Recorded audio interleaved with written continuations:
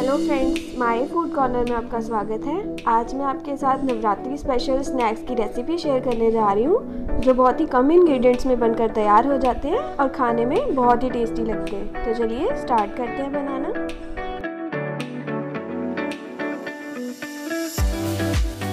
ये मैंने 200 ग्राम साबुदाना ले लिया है 100 ग्राम कच्ची मूंगफली ली है और चार उबले हुए आलू ले लिए। साबुदाने को हम थोड़ा सा रोस्ट कर लेंगे।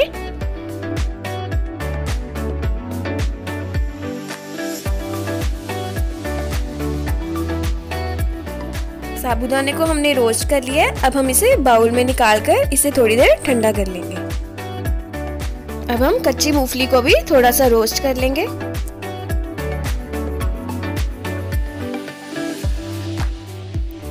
ये भी रोस्ट हो गई है, इसे भी हम बाउल में निकाल कर थोड़ा ठंडा कर लेंगे। जब तक मूंगफली और साबुदाना ठंडा हो रहे हैं, तब तक हम आलू को ग्रेट कर लेंगे। ये सारे आलूओं को मैंने ग्रेट कर लिया है। साबुदाना ठंडा हो गया है, इसे हम मिक्सर में डालकर इसे पाउडर बना लेंगे।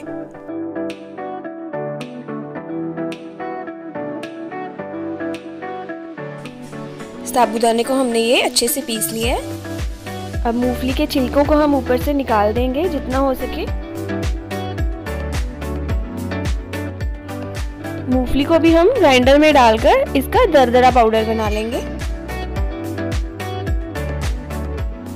मूंगफली को हमने पीस लिया है। अब साबुदाने के पाउडर को हम आलू में डाल देंगे, जो हमने ग्रेट किए थे।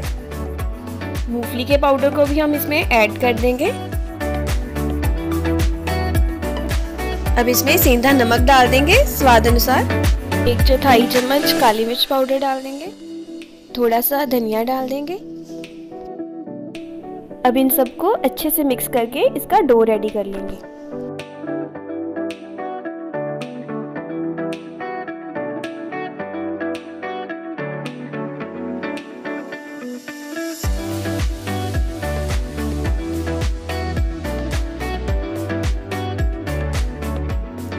इसमें हम एक चम्मच ऑयल डाल देंगे और इसे मिक्स कर लेंगे।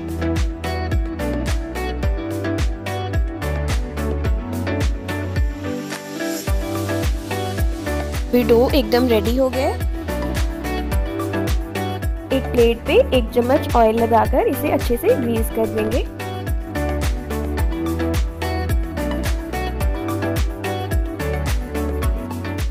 डो को हम प्लेट पे डाल के इसे सेट कर लेंगे।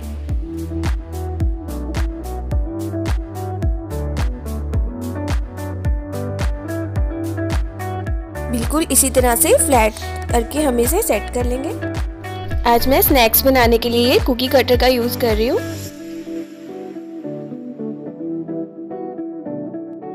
ये देखिए, इससे शेप भी कितनी अच्छी आ जाती है और देखने में भी सुंदर लगते हैं।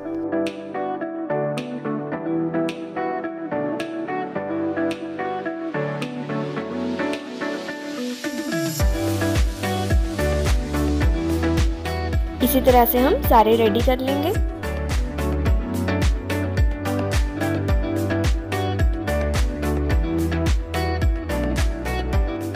हमने सारे रेडी कर लिए हैं। अब हम इन्हें फ्राई करेंगे। ऑयल को हम पहले गरम कर लेंगे। अब हम सारे स्टार्स इसमें फ्राई कर लेंगे।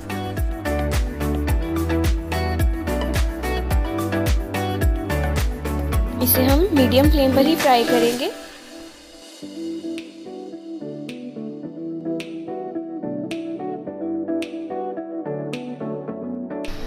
दोनों साइड से इसे अच्छे से फ्राई कर लेंगे।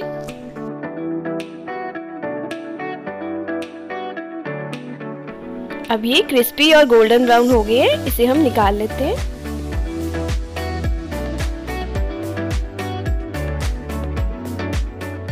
बाकी के भी सारे हम इसी तरह से फ्राई कर लेंगे।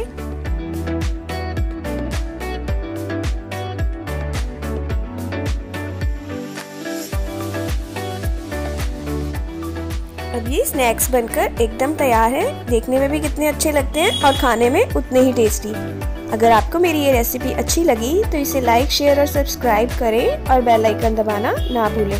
बेल आइकन दबाने से आपको मेरी नई डिश की नोटिफिकेशन सबसे पहले मिलेगी। Thank you for watching